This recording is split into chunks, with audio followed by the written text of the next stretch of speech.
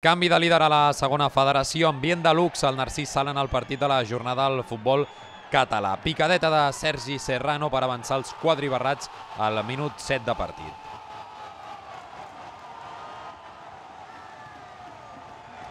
I aquí jugada pràcticament calcada, passada entre línies i Miguelete empat el partit per fer esclatar els més de mil arlequinats presents que no es van voler perdre la cita. Més protagonisme de Serrano que posa aquesta pilota i acaba rematant Gorriti per donar els 3 punts i el lideratge als de Xavi Molist. El partit es va enrarir en els últims minuts i els arraquinats van acabar buscant l'empat amb 8 jugadors sobre la gespa. Empat a 1 en un altre derbi català, escenari de primera per viure un duel amb alternatives. Ale Gailán situa el 0 a 1 abans del quart d'hora de partit i José Ángel igualaria les forces per deixar intacta la classificació. Escapulats i blanquiblaus apunten alt amb 11 punts cadascun.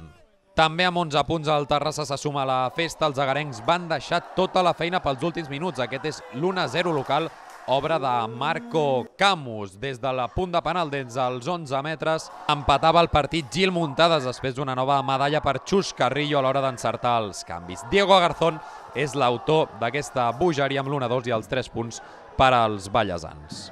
A Cornellà, Ibai avançava als locals amb aquesta centrada lateral. Pau Salvans empataria el partit 5 minuts després amb aquesta jugada de fantasia que finalitzava l'interior de l'àrea petita. I al 89, Albert Torres, amb la fletxeta verda a l'Olot, brinda els 3 punts als garrotxins que s'allunyen de la zona de perill.